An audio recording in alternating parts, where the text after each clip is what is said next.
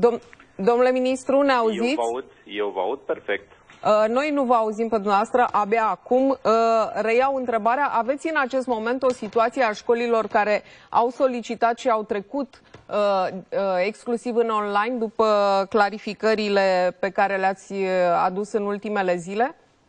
Da, este vorba de articolul 3.2 și articolul 6.9 din Ordinul Comun de Ministru, a apărut în data de 1 octombrie. Pe baza articolului 3.2, invocând lipsa de resurse și de a capacității de asigurare a protecției sanitare, au fost 236 de școli care au cerut până astăzi trecerea în online.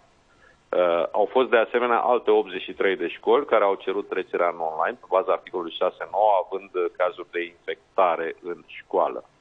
În București și în Olt sunt cele mai multe școli. În București sunt 110 școli, dintre care 101 școli au cerut uh, trecerea în online pe baza, să spunem, uh, unei îngrijorări legitime, iar alte 9 școli trecerea în online pe baza unor uh, cazuri care au necesitat avizul DSP.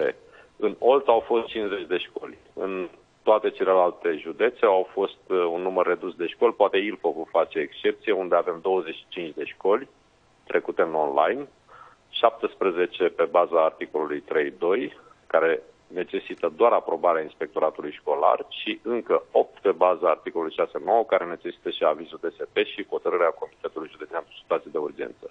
Acest... Avem, și 10, avem și 10 județe Bistrița, Năsăud, Brăila, Gorj, Hunedoara, Sibiu, Sălaj, Satu Mare, Suceava, Tulcea și Vaslui, care nu au făcut nicio cerere de trecere în online. Aceste diferențe între numărul de solicitări de la foarte multe în București până la nicio solicitare în cele, județe, în cele 10 județe pe care le-ați menționat are ca explicație doar uh, rata de infectare sau sunt și alte motive? Uh, este și rata de infectare, dar vedeți dumneavoastră în Cluj și Timișoara sunt rate de infectare apropiate de cea din București. Uh, acolo au fost doar câte patru școli care au trecut trecerea în online. În Iași a fost o singură școală.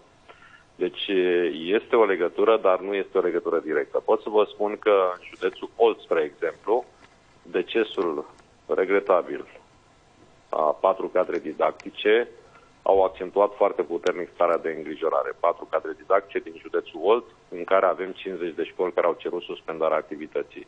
În Mehedinți, de asemenea, uh, din păcate am înregistrat decesul a trei colegi, uh, avem și stare de carantină și acestea sunt explicațiile pentru numărul mare de școli din, uh, din județul Mehedinți, care au solicitat trecerea în online. Vă mulțumesc mult, domnule ministru, pentru intervenția în direct la tema zilei. Noi ne mutăm